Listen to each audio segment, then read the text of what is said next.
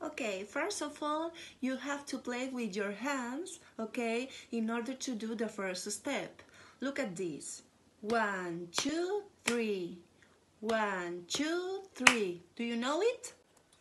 Okay, now you have to take a rule like this, okay, and you need to repeat this rhythm. Da, da, ti,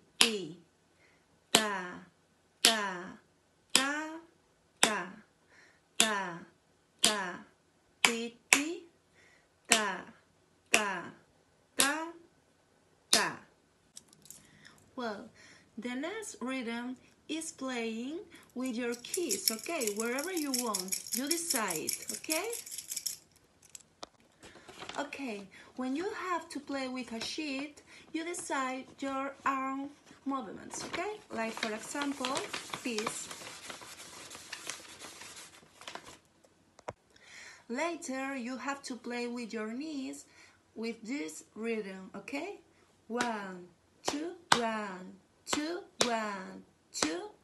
Okay, pay attention. Take a notebook and play the same sounds, okay, about the three horns. Like for example, ta ta ta ta ta ta ta ta.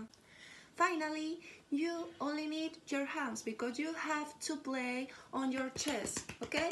Like for this example, wherever you want, decide your movements. Okay, let's start. See you.